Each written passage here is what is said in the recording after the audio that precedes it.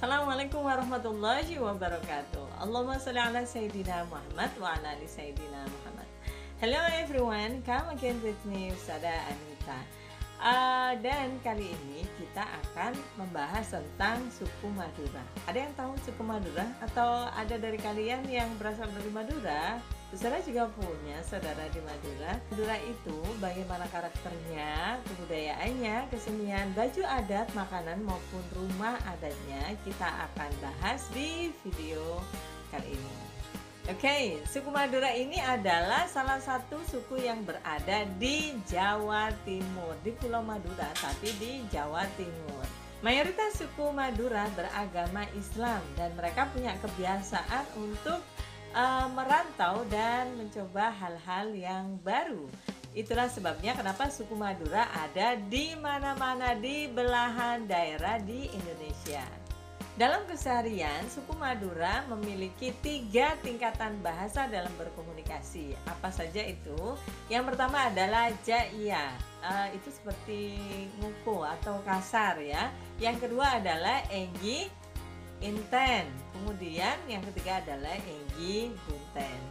Jadi kalau di Jawa ada nguku, kemudian madio, kemudian kromo inggil, sama juga di Madura ada tingkatan yang mulai kasar sampai yang halus. Tingkatannya itu tadi yang tiga. Salah satu kesenian yang sangat terkenal di Madura adalah karapan sapi, di mana karapan sapi itu tujuan awalnya adalah untuk mencari sapi-sapi mana yang tangguh untuk membajak sawah. Dan ide karapan sapi ini awalnya dicetuskan oleh ulama yang bernama Syekh Ahmad Baidawi. Salah satu budaya Madura dalam hal baju adat atau baju tradisional Madura tepatnya yaitu baju uh, celana hitam gombrong dipadu dengan baju hitam juga dan di dalamnya ada kaos merah dan putih. Di mana baju ini melambangkan tentang uh, keberanian dan ketegasan.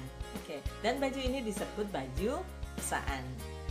Adapun rumah adat uh, suku Madura adalah tanean lanjang yang artinya adalah halaman panjang. Bisa dilihat uh, dari bentuk rumahnya, halamannya yang paling luas dan senjata tradisionalnya. Uh, tahu nggak pernah lihat nggak? Seperti pisau tapi melengkung. Apa itu namanya? Apa? Ah, celurit. Right uh, zaman dulu karena uh, harga diri yang sangat tinggi ketika terjadi uh, perselisihan biasanya celurit yang berbicara ya tapi sekarang karena sudah agama itu melekat pada uh, pribadi uh, di suku Madura maka uh, tradisi itu lama-lama juga terkikis bagaimana dengan uh, kesenian apa yang kalian tahu tentang kesenian Madura Ah, oke. Okay. Le Olang ada yang bisa nyanyi nggak ya? Le Olang live gitulah ya. Ada juga makanan tradisional Madura. Mungkin yang paling terkenal adalah sate Madura atau soto Madura. Atau kalau sekarang ini ada namanya bebek sinja itu khas Madura atau bubur Madura. Ya mana yang kalian suka? Sudah suka semuanya, tapi nggak suka yang pedes. Oke, okay, itu dia tadi sekilas tentang suku Madura selain dari PPT yang sudah uh, saya berikan. Nah, sekarang waktunya pertanyaan. Satu pertanyaannya adalah, kok bisa ya suku Madura itu ada di berbagai tempat di Indonesia, bahkan mungkin di luar negeri. Apa penyebabnya? Betul, karena Madura sering dan suka merantau, juga mencoba hal-hal yang baru. Oke, pinter. Sekarang pertanyaan yang kedua. Dalam bahasa Jawa kita juga mengenal uh, tingkatan dalam berkomunikasi untuk membedakan mana dengan teman, mana dengan orang tua, atau mana dengan uh, seseorang yang lebih dihormati. Dalam bahasa Madura pun ada. Nah, tiga tingkatan itu adalah Jaya, kemudian Enggi, Inten, yang satu lagi apa namanya? Enggi, Bunten, Pinter, Masya Allah.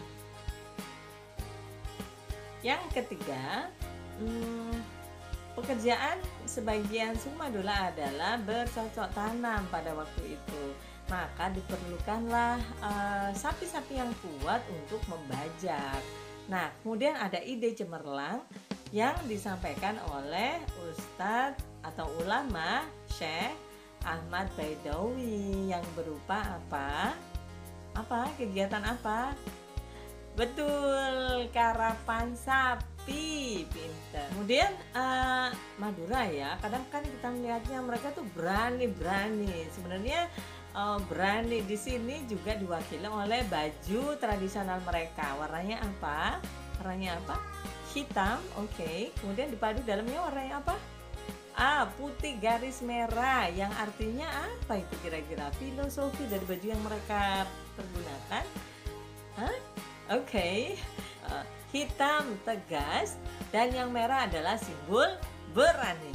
Oke, okay, Oke okay, everyone, itu tadi sekilas ulasan tentang suku Madura. Semoga bermanfaat. Jangan lupa the next video tentang uh, keragaman agama. Thank you for watching. Assalamualaikum warahmatullahi